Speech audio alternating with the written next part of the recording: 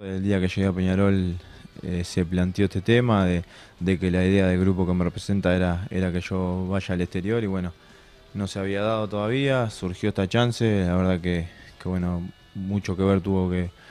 tuvo mucho que ver el cuerpo técnico del Polilla, que, fue el que me pidió y eso a mí me, dio mucha confianza, entonces bueno, eh, también ayudamos de todas las partes para que pueda llegar, pero sabiendo que, que esto podía pasar en cualquier momento y bueno, obviamente que se dio en un momento que, que nadie lo esperaba, yo tampoco, se dio todo muy rápido, eh, último día del periodo de pase, entonces creo que, eso fue lo que más lo que más chocó a todos. Y bueno, después obviamente que, la gente está bien, es, pasional y las cosas que diga o que, que piensa, bueno, yo como dije, como dije recién, mientras estuve en Peñarol dejé todo, di todo, tuve la suerte de ser campeón con Peñarol, así que, que eso para mí es muy importante y bueno, ahora cerrando esa etapa y tratando de hacerlo mejor acá.